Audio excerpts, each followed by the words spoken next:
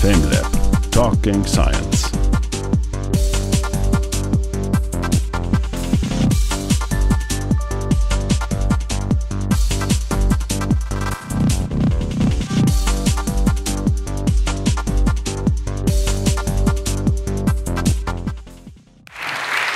Guten Abend. Ich hatte ein bisschen gehofft, dass ein Tisch steht, deswegen bringe ich mir meinen Stuhl mit. Ich ziehe hier nicht ein. Ähm, ich zeige Ihnen heute mal ähm, Ihr Handy in seiner ursprünglichsten Form. Roh und ungekocht. Ich habe nämlich die Rohstoffe mitgebracht, die man braucht, um ein Handy herzustellen.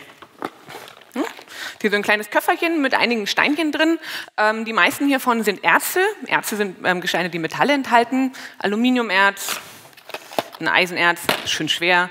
Ähm, na, das sind so die bekannten Kupfer, kennt auch jeder. Natürlich stecken im Handy auch noch ganz viele andere Metalle drin, über 30 äh, mit Namen, die man dann nicht so kennt. Wolfram, Indium, äh, Neodym von den berühmt-berüchtigten seltenen Erden. Also ein Köfferchen voll Steine. Das ist das, was in unserem Handy steckt. Naja, muss natürlich noch ein bisschen bearbeitet werden.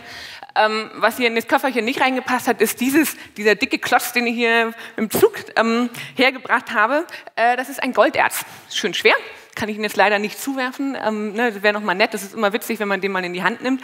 Das Gute ist, der sieht von außen total unscheinbar aus. Deswegen brauchte ich mir im Zug da auch keine Sorgen zu machen, dass jemand mein schönes Golderz klaut, weil wer nimmt schon Steine mit. Ähm, den äh, habe ich aber deshalb nochmal mitgenommen, um einfach mal den Vergleich nochmal zu zeigen.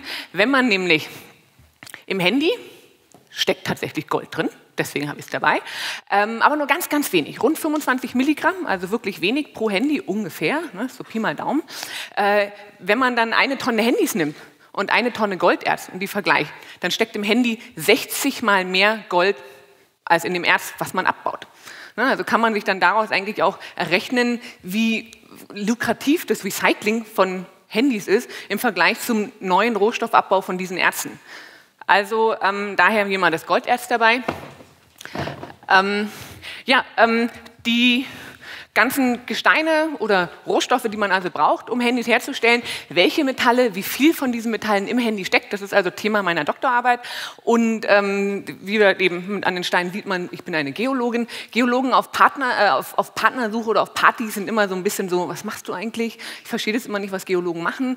Ähm, ne, Hämmerchen, ich bin kein Handwerker. Äh, mein Fachgebiet vergleiche ich dann immer ganz gerne so mit, ähm, ich, äh, ich mache Stammzellenforschung, Embryonalforschung ist nicht verboten wie die Embryonalforschung, aber ich mache die Stammzellenforschung von Handys. Es gibt nämlich viele Probleme bei den, im Embryonalstadium von den Handys. Soziale Probleme, ähm, ne, die Abbaubedingungen sind für die Arbeiter dort sehr schlecht, äh, teilweise Kinderarbeit. Die Umweltprobleme, die dort entstehen, bei den Mengen an Rohstoffen, die wir abbauen, gibt es erstmal braucht man viele Chemikalien, um dieses Gestein von dem Metall zu trennen. Also es ist ein massiver Umwelteingriff, den wir dort starten. Also soziale und Umweltprobleme bei der Herstellung von diesen Handys sind ein ganz großes Problem und das Recycling hatte ich auch schon erwähnt. Deswegen, das nächste Mal, wenn Ihr Handy kaputt ist äh, oder auch Ihr Laptop, da stecken die gleichen Metalle drin, bitte zum Recycling geben. Danke.